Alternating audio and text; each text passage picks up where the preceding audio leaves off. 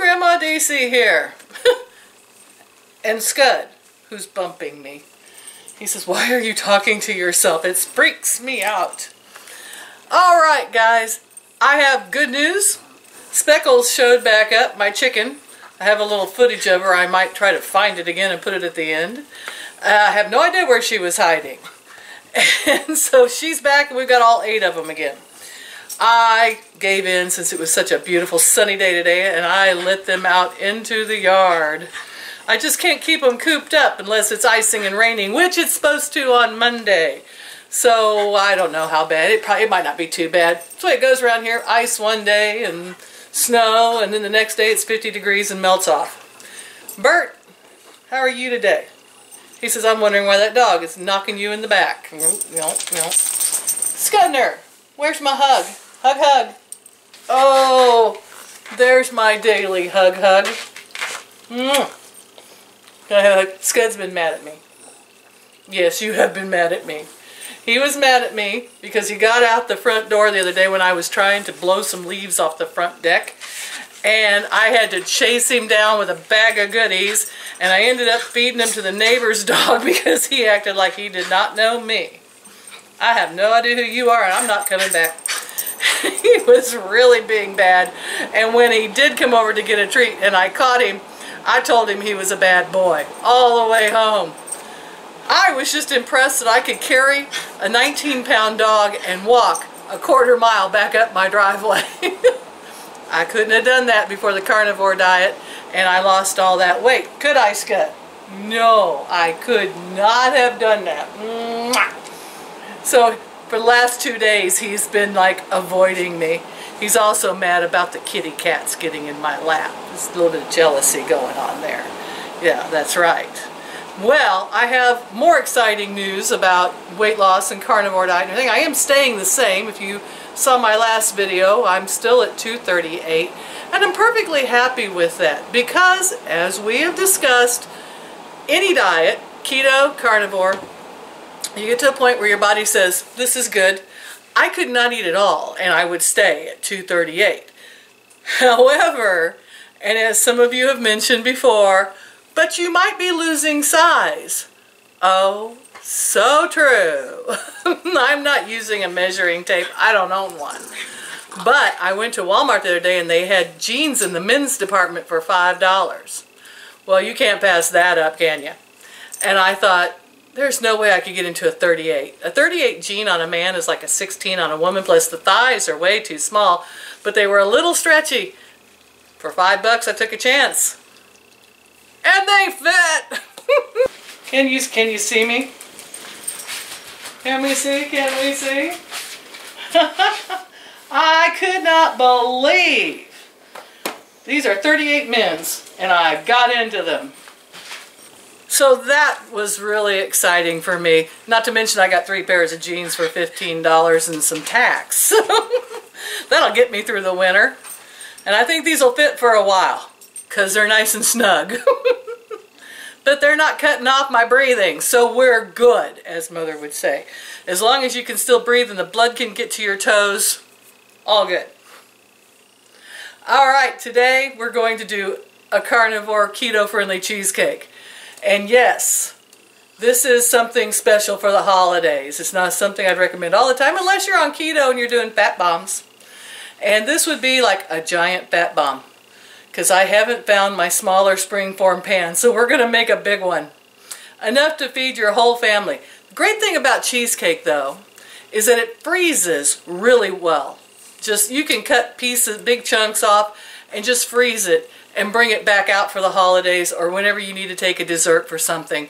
I know I get kind of upset or embarrassed, you know, sometimes when I'm dieting like this and going to someone else's house and saying, yeah, I only want your meat. All that other goodie that you slaved over, I can't eat it or won't. And uh, that, it just makes me feel bad. So I think it's always great to be able to take something like a dessert so that you can have something else. Well, we're going to do it in picture form too, because again, I know you all know how to cook. We've done this before in the past. Other people have cheesecake recipes. I might do another one that's no bake, but I've got to check out some carbs on some sugar-free Cool Whip. We'll see what that's got in it. And uh, let's get to it. And I hope you enjoy. Like, share, and subscribe to keep up with the insanity. And if I haven't said so before and you want to keep Grandma's videos coming, then you can go click on my funny face, go to my homepage. Down in the corner it says donate to PayPal, and you can leave a tip that says, hey, I really like that idea. I hope so, and I hope you do. Let's get to it. I want to start by saying these, these are some of the sweeteners I have in my house. You have erythritol, stevia in the raw from Walmart, my favorite organic stevia extract, and I have listed that below on several videos, and I'll try to remember to again, and pure sucralose. Now, I know, I know, some of them will raise your insulin. Some of them have maltodextrin. There's all these bad things and chemicals that are in artificial sweeteners. But for me, stevia does seems to be the one that doesn't raise your insulin the best. However, it's an acquired taste and it has kind of a bitter after wang until you get used to it. I really like it in coffee, teas, things like that. But like I said, I do realize it's an acquired taste. And for this, since other people might be eating it, I think we're going to go with uh, the Walmart stevia in the raw and maybe some erythritol in the topping. All right, let's get to it. We're going to start with four chubs of cream cheese These are six ounce packages of cream cheese, along with four eggs. Be sure to add them to your softened cream cheese. Plus a tablespoon of vanilla. I'm going to start with a half a cup of the uh, stevia from Walmart. It's lighter and sweeter. I know it's got additives, but uh, I think it'll bake better. Then we're going to get the beaters and beat this all up together and then taste it. And if we need to, we'll add more sweetener. Beat it just enough to incorporate everything. It's okay if it looks chunky at this point. Next, we're going to add a cup of sour cream along with a cup of heavy whipping cream. And then we're going to beat it all together again. The batter will be thick. Don't be upset if it's a tiny bit chunky. I kind of like it that way. Cut a piece of parchment paper to go in the bottom of your springform pan and spray it with nonstick cooking spray. At this point, you're pretty much done. If you want a plain cheesecake, this is it. Five carbs for the whole thing because it's one carb and two tablespoons of sour cream, and I counted them. There was 10 tablespoons so that makes five carbs for the whole thing. But we're going to kick this up a notch. After you put your parchment paper in here and you've sprayed everything so it's non-stick, I have some pecans. And I am going to put them in with some butter, some sweetener, erythritol is my choice for this because it kind of hardens a little bit like sugar. Mm -hmm.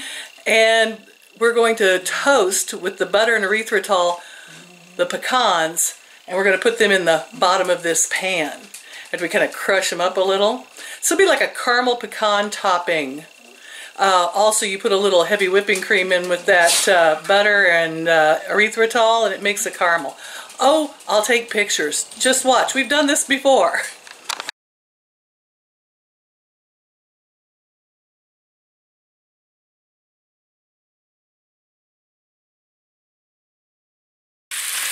I wanted you to see this part. After you let the butter and the erythritol and the vanilla sort of melt together, I have about a quarter cup of heavy whipping cream. And I've got it boiling really nicely. And we're going to pour that in.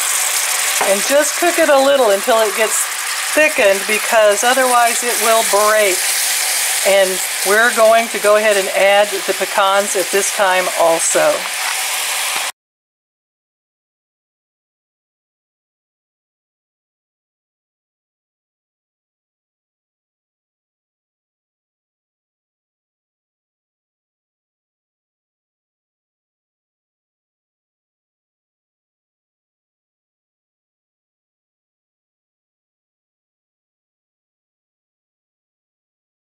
Okay, 300 degrees for about an hour and 10 minutes and then check on it.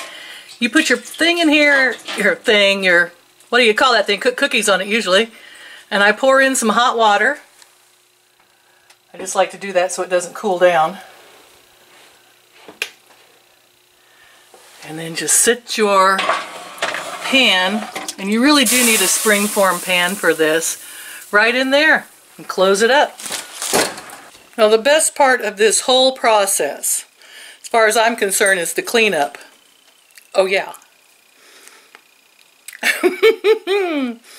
That's pretty fabulous. Even without the pecan topping or anything, this cheesecake would be phenomenal. We're going to let it cook for an hour and 10 minutes. We're going to check it. It should be a little bit jiggly, but it will raise up somewhat too. And then as you cool it, and you have to cool it completely before you take it out of the pan, in the refrigerator, it will shrink back down and be cheesecake. Good news. We found Speckles. Where she was hiding last night, I don't know. Yes, no, I'm not going to feed you any goodies. I don't have any goodies. The cheesecake's not even done yet. And I think this is going to be a good one, so you don't get it. you wouldn't have got it anyway. Oh, you're so spoiled rotten. Especially you, Hider.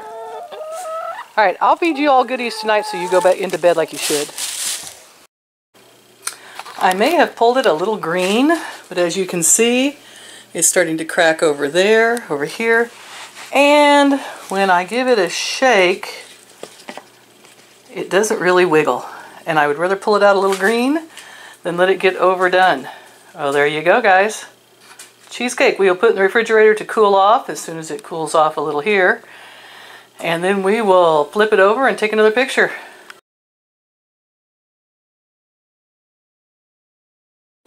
Okay, it's late at night. It's been in the refrigerator all day. It has cooled off and I'm going to remove the parchment paper and there's what we have pecan caramel cheesecake Whew, she's a beauty I think I'll wait till tomorrow to have a piece but I did run my fingers around the edge of the pan and it was really good I hope you guys enjoy this as an idea.